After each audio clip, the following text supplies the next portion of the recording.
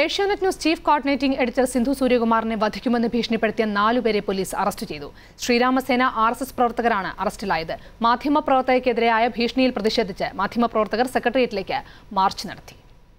Asianet news അവറിൽ ദുർഗാദേവിക്കെതിരെ മോശം പരാമർശം നടത്തിയെന്ന് ചിലർ വ്യാജ പ്രചരണം നടത്തിയതിനു ശേഷമാണ് സിന്ധു സൂര്യകുമാറിനെതിരെ വധഭീഷണി ഉണ്ടായത്.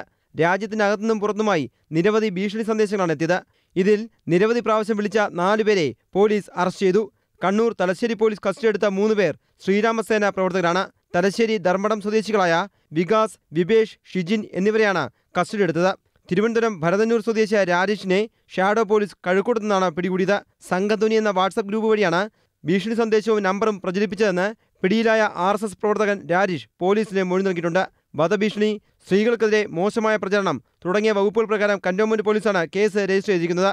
കണ്ണൂരിൽ പിടിയിലായവരെ കന്റോൺമെന്റ് പോലീസ് നാളെ കസ്റ്റഡിയിൽ വാങ്ങും. ഗൂഢാലോചന കണ്ടെത്താൻ പ്രതികളെ കൂടുതൽ ചോദ്യം ചെയ്യുമെന്നും ഭീഷണിപ്പെടുത്തിയ മറ്റുള്ളവരെയും തിരിച്ചറിഞ്ഞിട്ടുണ്ടെന്നും city police commissioner Spurgeon Kumar പറഞ്ഞു. വരും ദിവസങ്ങളിൽ കൂടുതൽ അറസ്റ്റ് ഉണ്ടാകും. സിന്ധു സുരകുമാറിനെതിരെ വധഭീഷണി പ്രതിഷേധിച്ച് കേരള പത്രപ്രവർത്തക യൂണിയന്റെ നേതൃത്വത്തിൽ സെക്രട്ടേറിയറ്റിലേക്ക് മാർച്ച് നടത്തി.